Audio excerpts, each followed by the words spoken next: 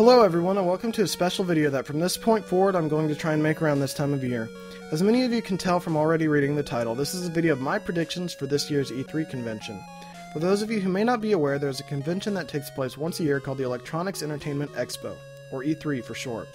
Essentially, it's a business week long event where game developers and hardware manufacturers show off and reveal their new products to the masses, giving massive hype behind their products.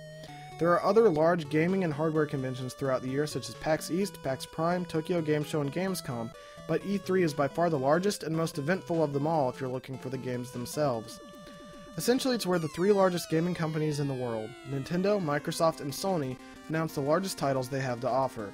Last year was fairly uneventful for all three developers, with the exception of Nintendo, who unveiled their new home console after many years of speculation the Wii U. Due to this massive announcement, not only do Sony and Microsoft have to step up their game, Nintendo also has to hide some major releases to make their conferences worthwhile this year. For those of you who have never attended or watched an E3 convention, you can watch all of the major conferences online for free through websites such as IGN and YouTube.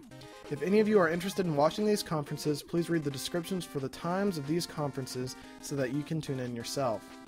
My predictions are based off of the patterns of the game developers and companies, what has already been announced or hinted at, reliable news sources, and what seems to be the most likely route for the game developers to take. The first conference I will be focusing on is Microsoft, since they will be the first major company up to the plate starting on Monday. With the exception of conferences where Microsoft unveils new hardware such as their Xbox 360S or the Kinect, Microsoft's conferences are unfortunately uneventful, heavily acted, and focused on multi platform games rather than exclusive first party content like Sony and Nintendo are known for.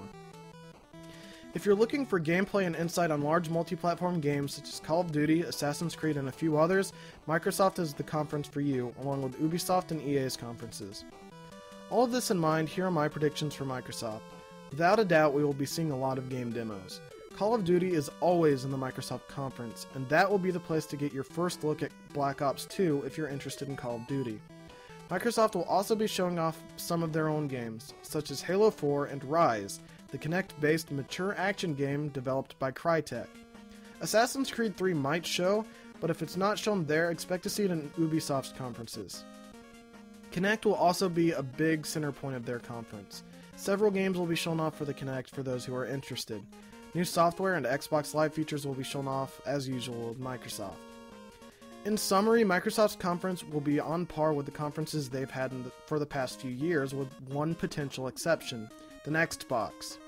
If Microsoft plans on revealing their next home console this year, expect to see the majority of their conference focused on the new system. First and third party launch titles will be a must, and hardware features will be what everyone is looking for. If the next box is revealed this year, I predict a few games for launch titles. Banjo Kazooie 3 or 3E, Halo 4 would be a large contender to be launched on the next box when it releases, and possibly other large exclusive fan- franchises such as Forza, Gears of War, or Alan Wake.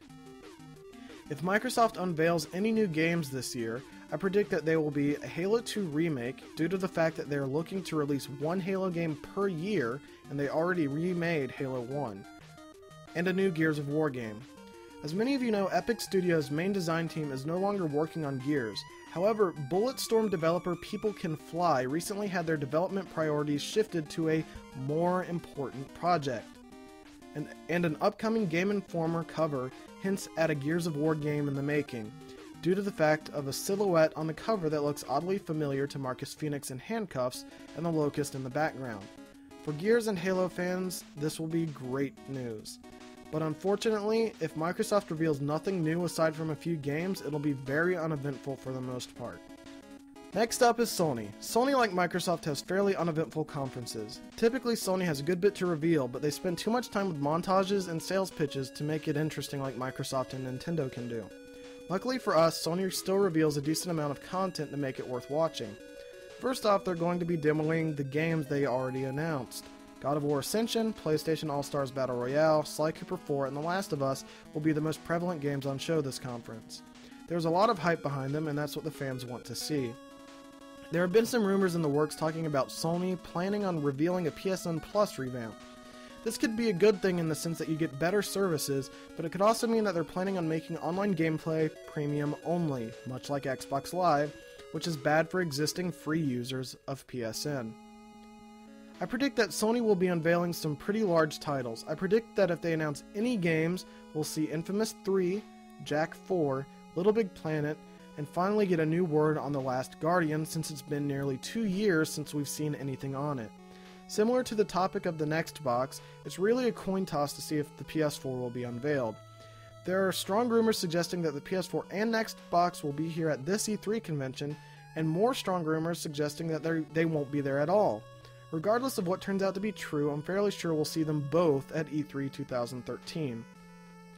If Sony does unveil their next home console, they'll be focusing heavily on showing off the hardware features and announcing several launch titles for the system. Unfortunately, I can't really predict what franchises Sony would use as launch titles for the PS4 since they keep the ones exist in existence fairly active with new entries. If anything, I would predict that the games I already predicted to be announced would be announced for the PS4. Again, those being Infamous 3, Jak 4, The Last Guardian, and possibly another Little Big Planet game. Last and finally not least, we have Nintendo. Nintendo is known for having the most eventful conferences at E3. Unlike Microsoft, most of their content is not heavily scripted, and unlike Sony, they don't announce their biggest titles a month or two before the conference takes place. Nintendo has what I like to call entertainment value. Now that that's out of the way, I predict a lot of reveals at Nintendo's E3 conference. The 3DS is selling very well, and last year they unveiled their new home console, the Wii U. If Nintendo announces nothing, they leave nothing for their investors to be happy with. Fortunately, Nintendo rarely disappoints. Starting with the portable line, I predict that Nintendo will be showing off some of the games already announced Luigi's Mansion 2, Paper Mario, Animal Crossing, and possibly Monster Hunter 3G and 4 that we saw last year at Tokyo Game Show are the most likely candidates to be shown off. Nintendo will probably be revealing several new first party 3DS games. Last year, an original Zelda 3DS game was rumored to be in the works, leading it to be the most valuable 3DS game in the works for them to announce. Along with Zelda, I would possibly expect a Donkey Kong or even a Pokemon game, possibly a Ruby, Sapphire, and Emerald remake that many of us have been waiting for a long time. I wouldn't expect much in the hardware line. I don't think we'll see a 3DS revision within one to two more years since the 3DS has just been out for a little over a year, although we may see a new 3DS bundle. Part of the confusion with the initial 3DS launch was the fact that the DS itself went through so many revisions, causing the 3DS to start with lower sales. We may, unfortunately, see a price increase on the 3DS due to its due to them selling it at a loss to boost its sales. The most I'd see on a 3DS price raise is $200 from its current $180 price tag. Now to the home console line. The Wii U was announced at last year's E3 convention with high critical acclaim. The console pushes boundaries that many consoles and game developer game development companies have never pushed before. Adding a screen to the controller was a brilliant move on Nintendo's part, bringing the benefits of a 3DS to their home console. Unfortunately, Nintendo didn't announce much about their home console aside from what the controller was capable of.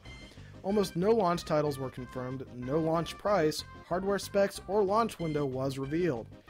This is the year that Nintendo will announce all of the answers we've been waiting for. I predict that they will announce the final price of the Wii U and a holiday 2012 release date. I don't think they'll announce the specific release date, but I expect to see the quarter 4 2012 launch window reiteration that we've been hearing for the past year.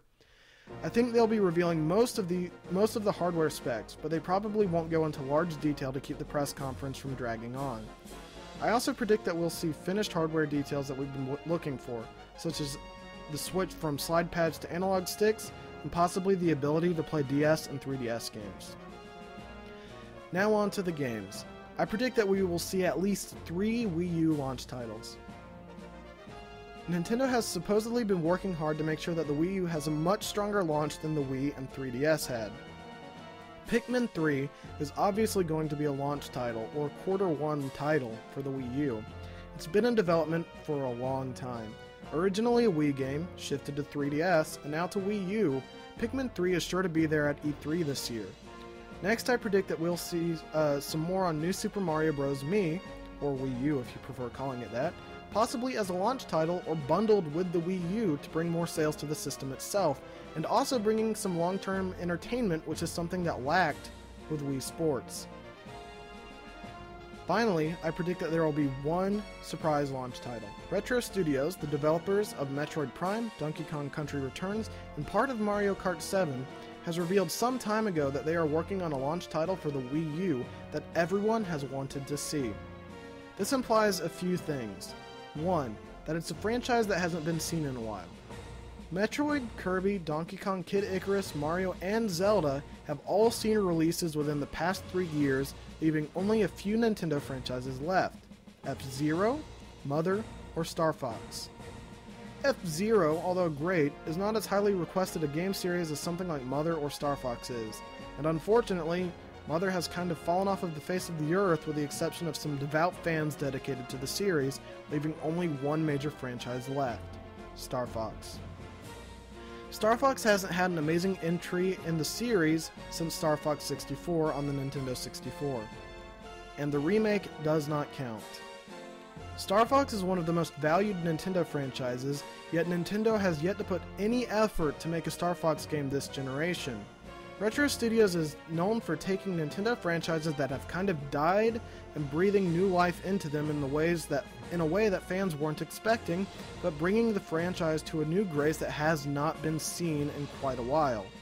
Retro is one of the most talented design teams I've seen in gaming, and Star Fox is the game that I predict that they are working on, without a doubt in my mind. There have also been rumors of a Star Fox and Metroid crossover. Somehow, I think this is false, but if it's anything, I predict that it'll be a Star Fox game with Samus playable in multiplayer due to the company's heritage.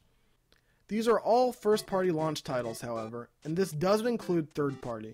We'll be seeing big names such as Battlefield, Batman, Metro Last Light, Darksiders 2, etc. However, I also think that we'll be seeing many more third party surprises and games that Nintendo publishes that we won't know about until E3. I predict that Nintendo won't simply stop there. I believe they will also announce upcoming Wii U games that are not launch titles. The titles I mentioned previously are not launch titles, I expect them to be announced at the very least.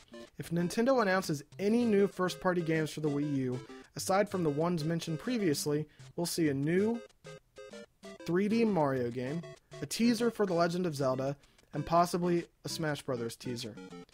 I don't expect Smash Bros. to be there since the development just started two months ago. However, there's a strong possibility that Mario and Zelda could appear in the form of teasers. This year's E3 convention is looking to be a great one, with the possibility of Sony and Microsoft revealing their new home consoles and Nintendo planning on a massive Wii U and 3DS lineup. I'm sure this year won't disappoint.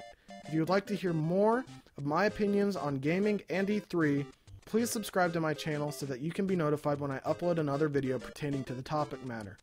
As always, this has been The Blade Gamer, and I'll see you next time.